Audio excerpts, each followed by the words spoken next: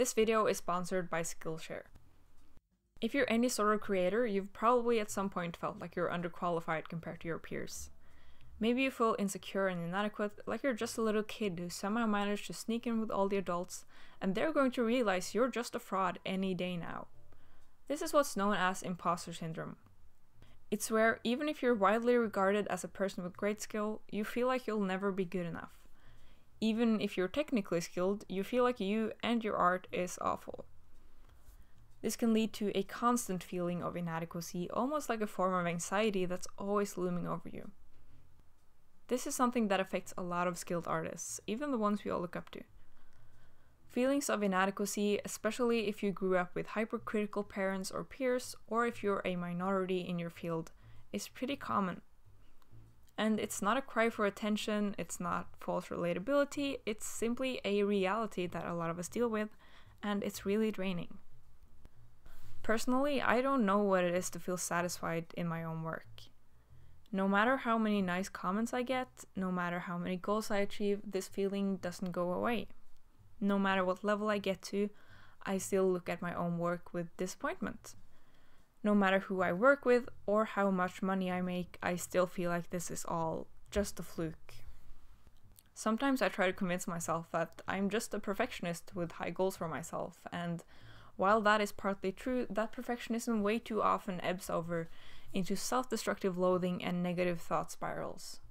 It's never enough, and no matter how hard I work, I can never seem to actually like my own work. I have this really stupid but legitimate fear that I'm going to work with a big client one day and I'm going to fuck it up, and upon realizing how much I actually suck, they're going to spread the word to everyone else, and I'll just never work as an artist again. When I tell people this, they kind of just laugh and say, Oh, but you know you're actually good, right? And no, I don't actually know that. So, talking about imposter syndrome is hard talking about how to not hate your own art is hard. Because one i don't want this to come off as a cry for attention or for help. Uh, I, I don't need help because i still love art and i still love my job and i still have fun with it sometimes. I just have a hard time believing in myself and my work. And two because i don't have a clear-cut solution and i don't really think anyone does that's a sad truth, but it is what it is. I don't have the answer. This is a really complicated thing to deal with, and it's also completely different from person to person.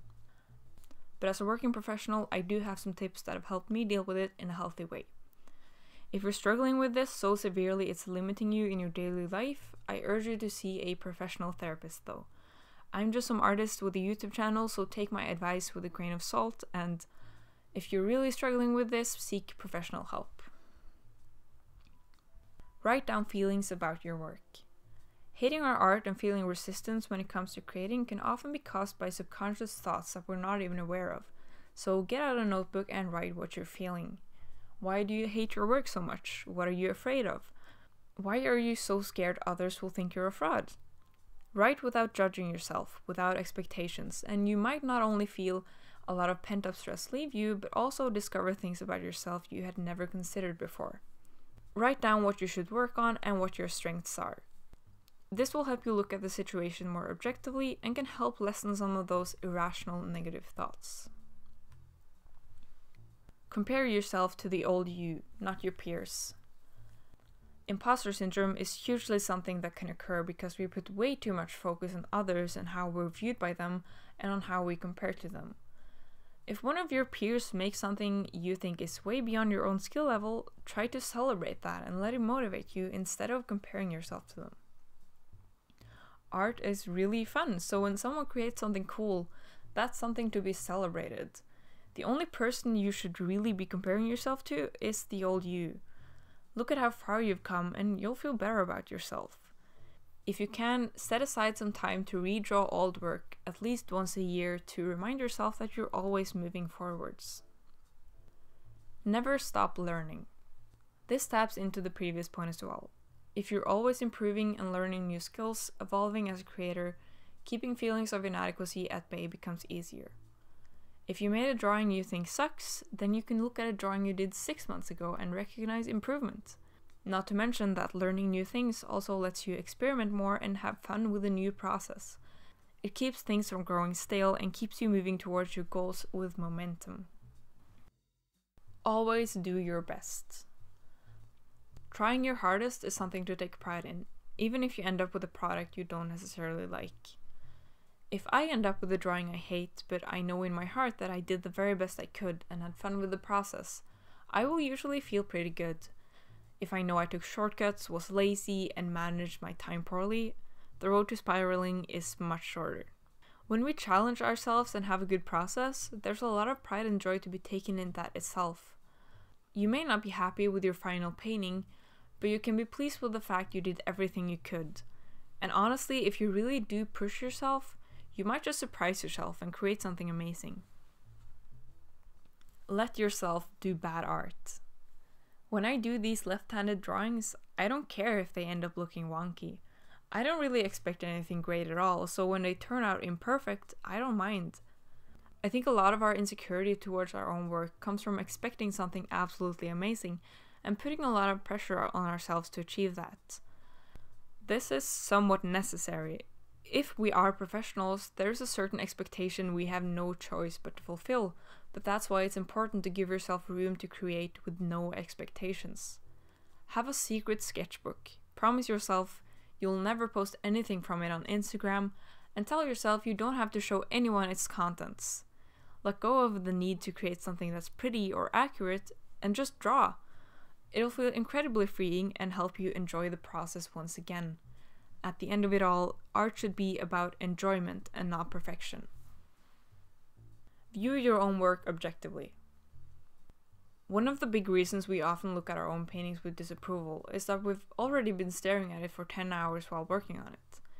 We know every single brushstroke, we know exactly which area that we kind of neglected, and we are aware of every single thing that looks slightly off.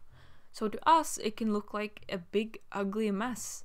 But for a person seeing it for the first time, the experience is completely different. They'll probably be blown away by this thing they've never seen before, then take it in for a few moments and move on with their day. Try to put yourself in their shoes and take in the overall impression of the artwork instead of worrying about that tiny area you know looks a bit weird. It's probably not at all as bad as you think. If the client is happy, you've done your job well. At the end of the day, our job as professional artists is to provide our clients with a product that serves whatever purpose they need filled. If your work is accurate to the brief you were given, you did your best with what you had, and if the client approves it by the end of it all, you did a good job. Like 90% of the time, I myself am incredibly unhappy with the work I do, and sometimes I even want to give the client a refund just because I feel awful for what I gave them. But then I need to remind myself that they're happy with it. They paid for a service, I executed that service professionally, and at the end of it, they were happy with what I did. It doesn't matter that I, in my subjective perfectionism, dislike the product. If the client is happy with me, I should be happy with me. All that being said, imposter syndrome is a complicated issue, and I don't know how to fix it. I'm sure that's not what you want to hear from a person who has quote unquote figured it out, but that's the truth. I don't know how we can stop hating our art as experienced professionals because no matter what I do or how I change my mindset, I still think my own art sucks a lot of the time. I still love art, I still love my job, and what I've discussed in this video certainly helps make me feel better, but it's no immediate cure. I want to stress that this is not me saying you should lie down and be okay with your unhealthy thoughts. This is me saying this is a whole thing that takes work to get over. Feeling irrationally bad about yourself at all times is not an even remotely positive thing, but thinking that just being positive and enjoying yourself will fix it, it is naive. If you hate your own art, you're not an asshole who's fishing for compliments. You're just a person who has some deep seated insecurities you need to figure out. Your feelings, while unhealthy, are valid. What I encourage you to do is to figure out what helps for you. For me, along with what I just mentioned, meditation, exercise, and taking the time to really look at things objectively help. For you, it might be something completely different. Look within yourself, and you'll eventually find little things that help you find your way back to reality. Because the reality is, most likely, you are way more qualified than you think. Your art probably is not at all as bad as you think. But seeing ourselves and what we create objectively is a notoriously difficult task. A huge, huge thanks to Skillshare for sponsoring this video. One of the most efficient ways of keeping imposter syndrome at bay is improving ourselves by learning new things and sharpening our already existing skill sets. Skillshare is the perfect place for that, with thousands of classes in literally anything. From painting to productivity to business to juggling, you can pretty much learn anything you want at any time. An annual subscription is less than $10 a month, which is not only super affordable, but also cheaper than most other services of its kind. Right now, the first 500 people who click the link in the description will get a two month subscription completely free of charge. So go try it out if you're interested.